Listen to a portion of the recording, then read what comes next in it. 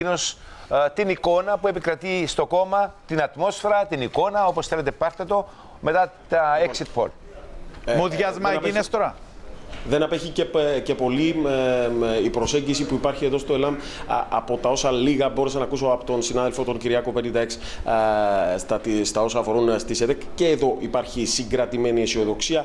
Σας έλεγα και πριν ότι είναι το μότο α, που επικρατεί από την πρώτη στιγμή που πατήσαμε το πόδι μας εδώ στο Εθνικό Λαϊκό Μέτωπο, στα γραφεία του Εθνικού Λαϊκού Μετώπου. Συγκρατημένη αισιοδοξία θέλουν να δώσουν ακόμα α, λίγο χρόνο ε, και θα έχουμε και επίσημη τοποθέτηση ε, σε κάποια στιγμή, ε, στην επόμενη ώρα ε, ενδεχομένως, ενδεχομένως και από τον ίδιο τον πρόεδρο του ε, Εθνικού ε, Λαϊκού Μετώπου. Ε, Επαναλαμβάνω, επικρατεί ε, ε, κλίμα συγκρατημένης ε, αισιοδοξίας ε, και αν θέλετε να προσθέσω και κάτι σε αυτά που λέγατε και νωρίτερα, ε, και το ΕΛΑΜ ε, βλέπει τα ποσοστά του να αυξάνονται.